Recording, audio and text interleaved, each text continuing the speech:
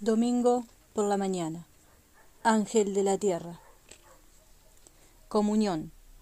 Ángel de la tierra. Entra en mis órganos reproductores y regenera la totalidad de mi cuerpo. Oración.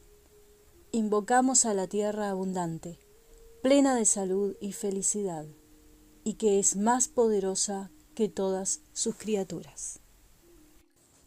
Explicación. El ángel de la tierra, de la madre tierra, es el poder de generación y regeneración, una idea central de los esenios, similar a la de Zoroastro. Era la de crear una vida cada vez más abundante. El propósito de la comunión es transformar los poderes generativos de la vida y utilizarlos para la regeneración del cuerpo humano. Ellos concebían que las mismas fuerzas generativas de la naturaleza existen en la parte superior del suelo, las cuales crean la vegetación de la tierra. Existen también en nosotros. Esta comunión entonces se relaciona con la superficie de la tierra, donde se produce la germinación, y también con el poder de la fertilidad dentro de nuestras glándulas y órganos reproductores nos enseña la importancia de los poderes generativos del suelo y la fuerza regenerativa de la energía sexual en el sistema glandular. Nos hace consciente de las fuerzas generativas de la vida en nosotros mismos y que nos rodean, capacitándonos para ser más receptivos en la absorción de estas grandes fuerzas, dominándolas, dirigiéndolas y utilizándolas. La facultad extraordinaria de los esenios, la de autorregeneración, se debía primariamente a la transformación de la energía sexual que se realiza a través de la práctica de esta comunión.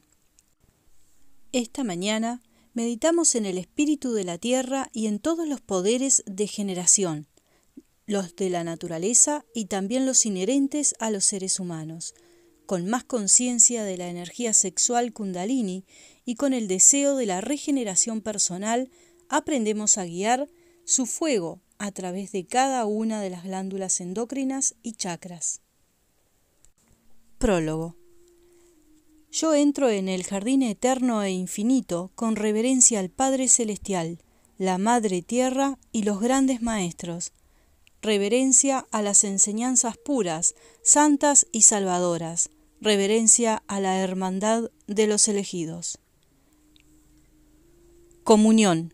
Ángel de la tierra, entra en mis órganos reproductores y regenera la totalidad de mi cuerpo. Con esta comunión contemplamos la tierra que genera la vida y las hierbas crecientes y el poder de la fertilidad dentro de nuestras glándulas y órganos reproductores. Al mismo tiempo, sintiendo cómo las corrientes del ángel de la tierra transforman nuestra energía sexual en fuerzas regenerativas. Oración. Invocamos a la tierra abundante, plena de salud y felicidad, y que es más poderosa que todas sus criaturas. Alabamos a la tierra ancha, con senderos lejanos dilatada, productora, abundante tú, Madre Sagrada Planta. Alabamos las tierras donde creces, con dulce aroma esparciéndose en todas partes.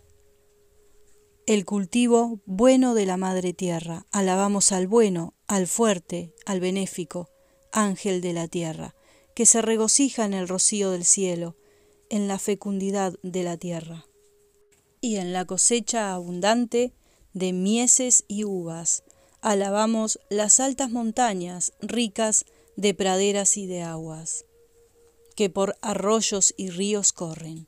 Alabamos las plantas sagradas del ángel de la tierra, que del suelo crecen, y a los hombres y animales alimentan, y alimentan a los hijos de la luz, poderosa, preservadora es la tierra. Sagrada preservadora, la mantenedora, alabamos la fortaleza y el vigor de la poderosa preservadora, la tierra. Creada por el Padre Celestial, Alabamos los curanderos de la tierra, que conocen los secretos de hierbas y plantas. En ellos el ángel de la tierra ha revelado su antiguo y sagrado conocimiento. El Señor ha creado medicinas de la tierra, y quien sea sabio la usará. ¿No fue el agua endulzada con madero para que su virtud pudiera conocerse? Y destrezas ha dado a ciertos hermanos, que la ley honrada cumplida fuese. Con ellas curan a la gente y quitan sus dolores, y no hay final para sus obras. Por ellos hay paz en toda la tierra, mas hagan lugar a los sanadores y honrenlos, pues el Padre Celestial los ha creado no permitan que se alejen, pues necesitarán de ellos. Alabamos a los labradores del campo, que juntos trabajan en el jardín de la hermandad, en los campos que el Señor bendijo. A quien cultive la tierra con su brazo izquierdo y derecho, le dará abundancia de frutos, y verdes plantas saludables y dorados granos. Dulzura y abundancia fluirán de la tierra y de esos campos, con salud y curaciones, con fertilidad, aumento y abundancia. Quien siembra mieses, hierbas y frutos, siembra la sagrada ley. Hace progresar a la ley del Creador. Cuando la tierra entera un huerto sea, entonces todo el mundo físico será libre de vejez y de muerte, de corrupción y pudredumbre, por siempre jamás.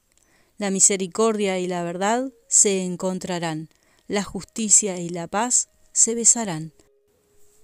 La verdad surgirá desde la tierra y la gloria morará en nuestro suelo. Que así sea. Gracias.